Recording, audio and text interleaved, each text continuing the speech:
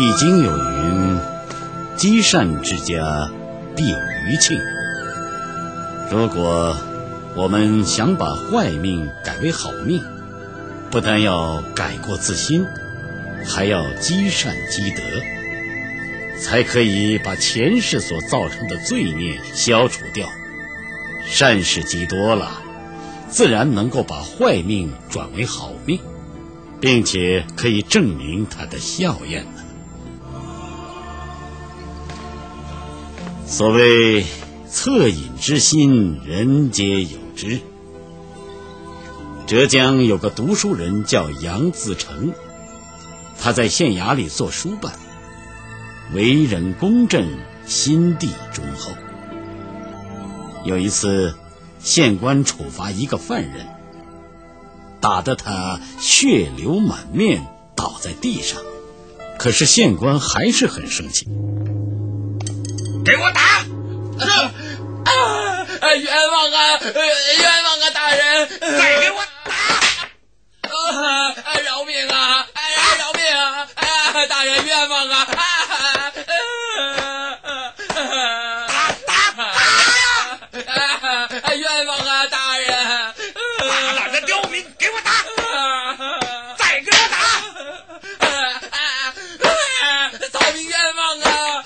冤枉啊！再打！大人，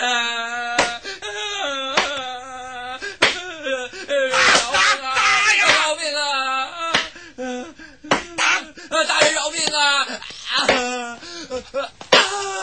啊！大人，请大人息怒，恳求大人饶恕了他吧。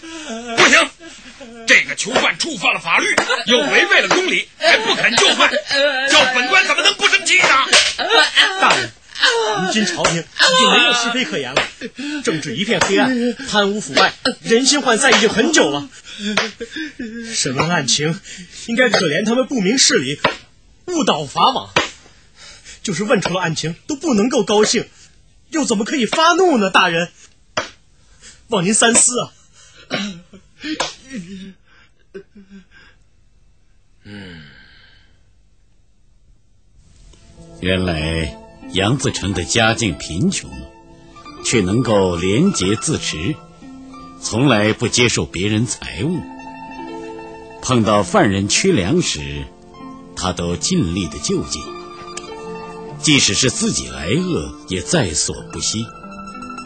他这种舍己为人的行为，从来就没有改变过。后来他生了两个儿子。都是有名的大臣，而且后代也都兴旺不衰，官运亨通啊。常言道：“上天有好生之德。”